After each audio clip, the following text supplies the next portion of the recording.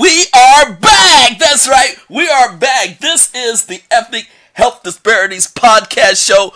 My name is Dr. B, and we are back. This is show number eight. Show number eight. And we are still analyzing the Center for Disease Control and Prevention, CDC's report, Health Disparities and Inequalities Report, United States 2011. And this is the fourth segment of it. Actually, analyzing health disparities reports number four. Wow. Yeah, this is show number eight for the Ethnic Health Disparities podcast show. Thank you for continuing to follow follow me on this uh, healthy ethnic health dis- podcast show.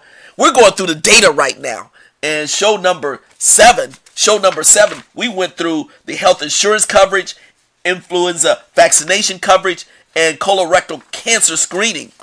This show, this show, we're going to another level. Health outcomes. We will be looking at, unfortunately, the health outcomes in, of mortality, death. These, these, this is the st- statistics that we look at, we examine as public health professionals and determine what are the trends, what are the issues, what are the ethnic health disparities major issues, problems, concerns. How can we intervene when we have these types of mortality issues affecting specific racial and ethnic populations here in the United States consistently more than other populations. That's why, again, again, I'm biased. This Ethnic Health Disparities podcast show is so important because no one is talking about this on a consistent basis. And now I'm going through the data.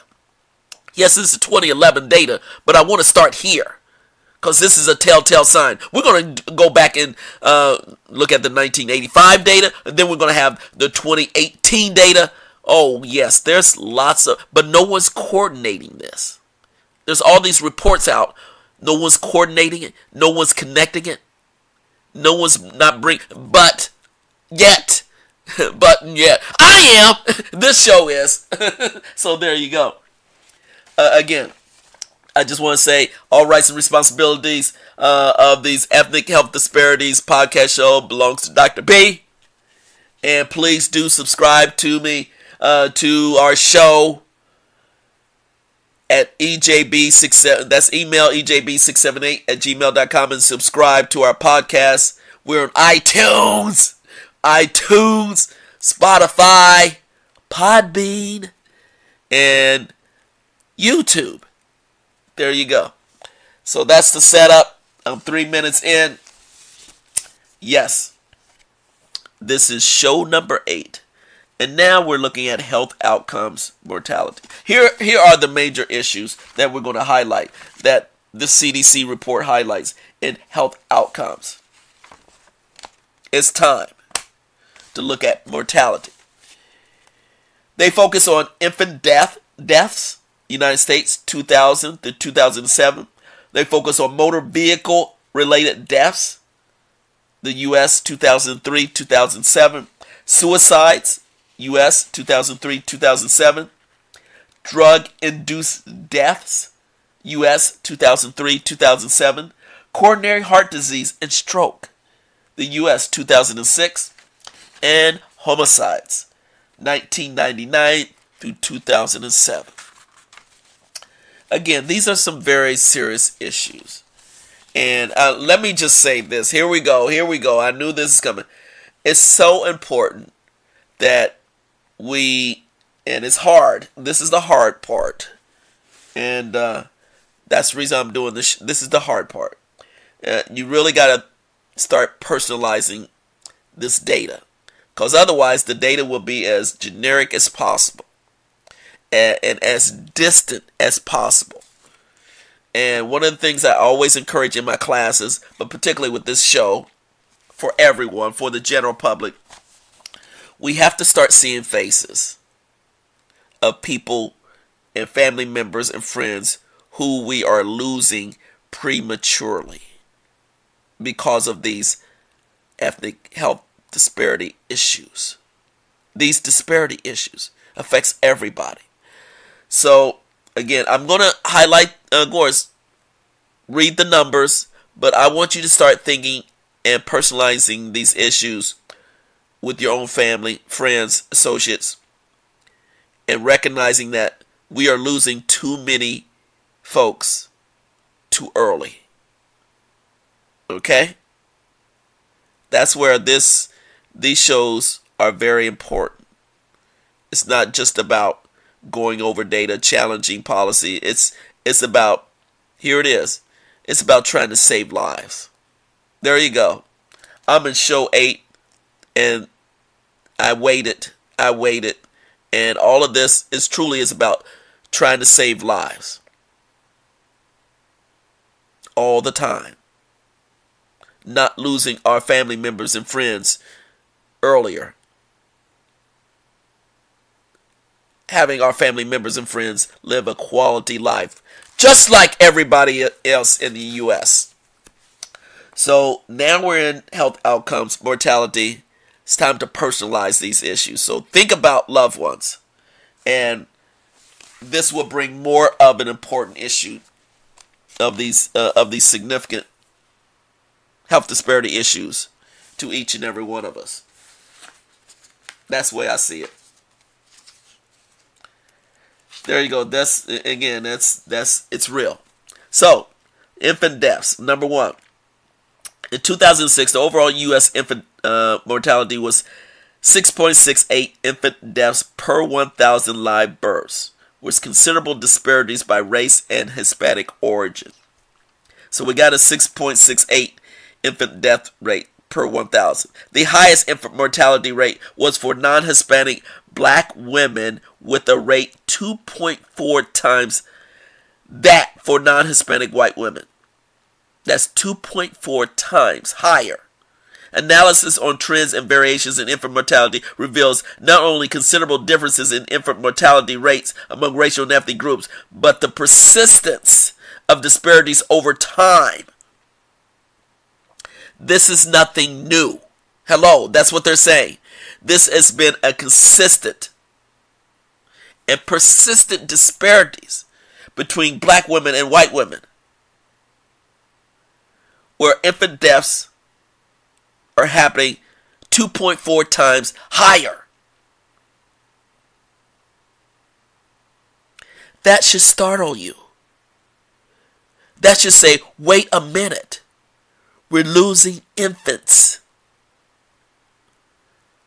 2.43, almost three times higher. That is shocking. Shocking. Hello. Needless lives lost.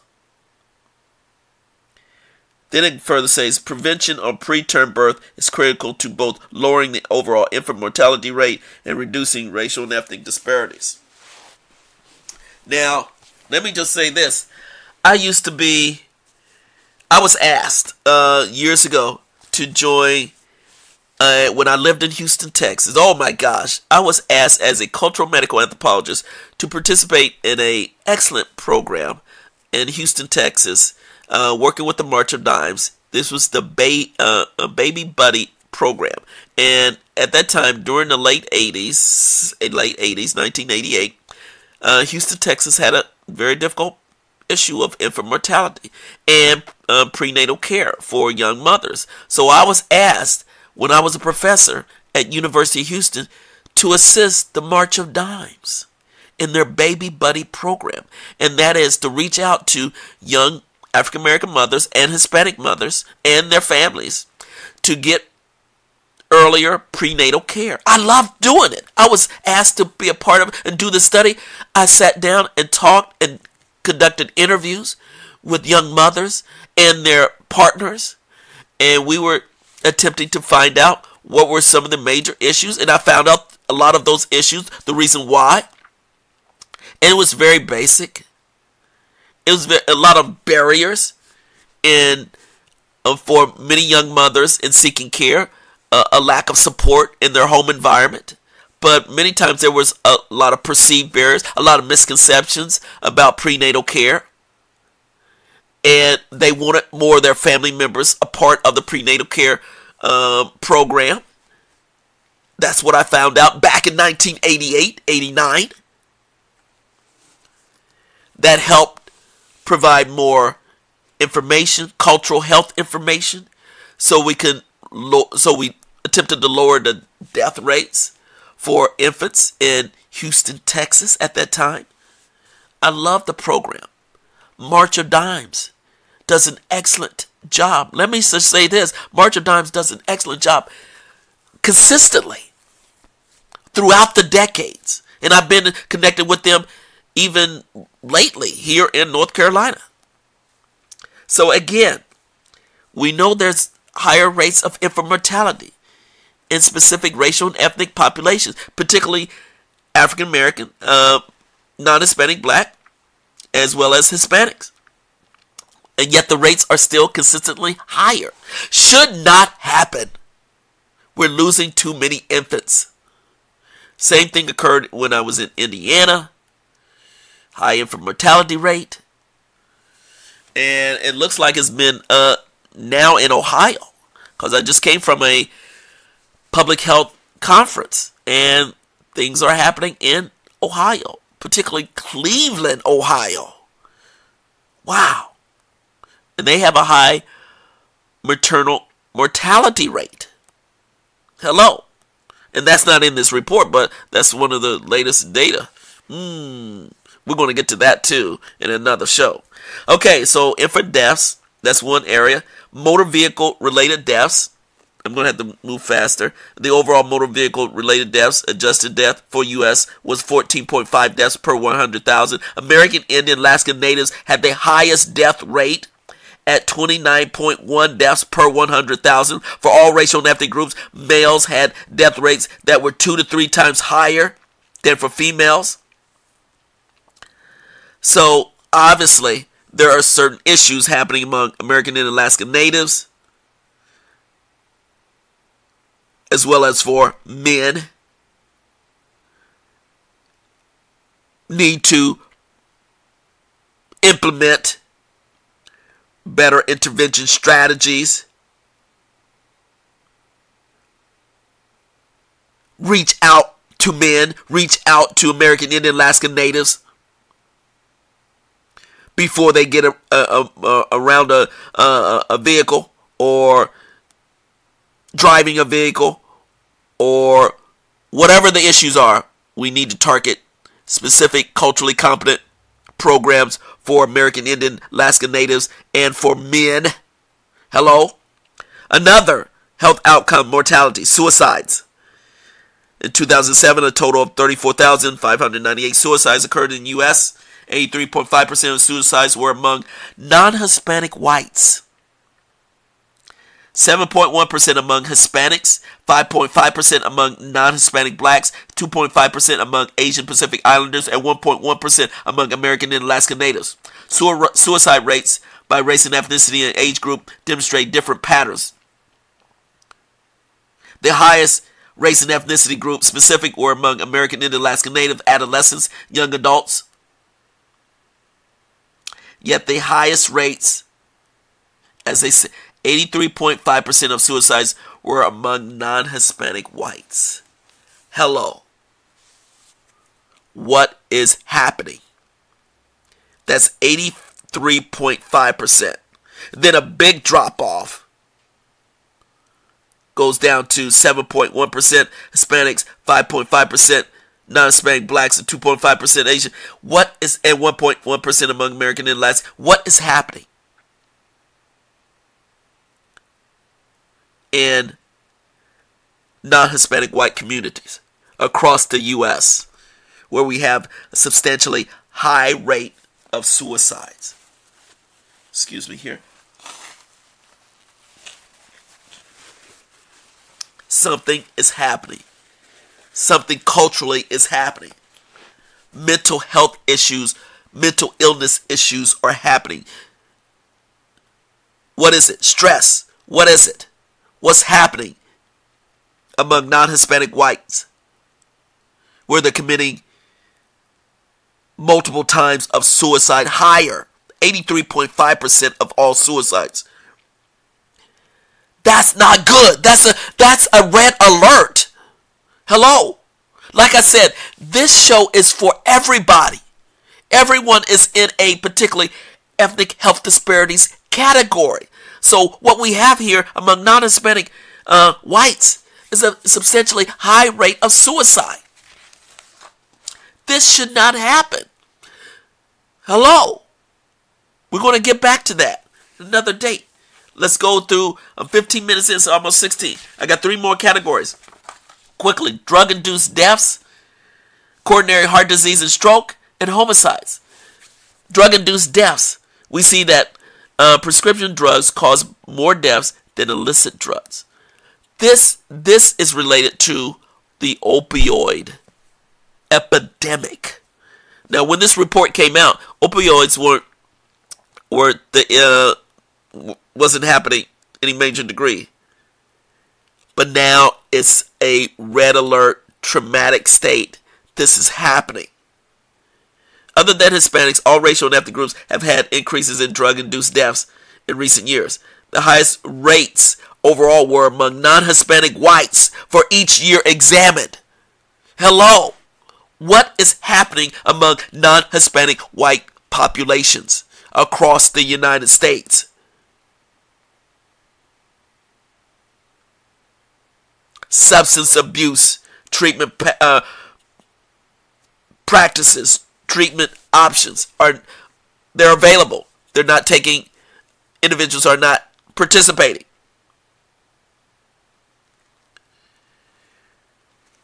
And CDC states the cohort studies have demonstrated the effectiveness of long term methadone maintenance therapy, but the impact of other interventions is still under study. Again, we have an opioid epidemic.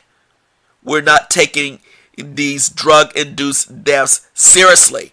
And it's happening more so among non Hispanic whites. Hello. Hello, folks. This is everybody. Next, coronary heart disease and stroke. Comparison of by race reveals that black women and men have much higher coronary heart disease, CHD death rates. Again, 40 between the 45 and 74 year age group. Higher percentage of black women than white women died before the age of 75 as a result of coronary heart disease as did black men, 61.5%, compared with white men. Premature deaths attributed to coronary heart disease and stroke among black adults indicate the need for evidence based interventions to reduce prevalence of risk factors for coronary heart disease among black children. No kidding. No kidding. So we coronary heart disease and stroke is a killer taking out our loved ones much earlier than need be. And we need intervention across the board to address obesity, physical activity, nutrition, diabetes, hypertension, cholesterol. These are the contributing factors. It's straightforward coronary heart disease and stroke is a killer. Wake up, America. Wake up. Everybody. Finally, homicides. 2007 disparities in homicide rates by age, race, and ethnicity and sex were evident. Homicide rates was particularly high among young, uh, young adult black males. Homicide rates were highest among age 15 to 34 years of age. The overall rate for males was approximately four times higher than for females. Homicide rates were consistently highest among non Hispanic blacks, but the rates were half of those reported for those demographic in early 1990s. Homicide extremely outcome, a broader public health problem of interpersonal violence, and effective evidence-based strategies are available to reduce youth violence. That's that's talk.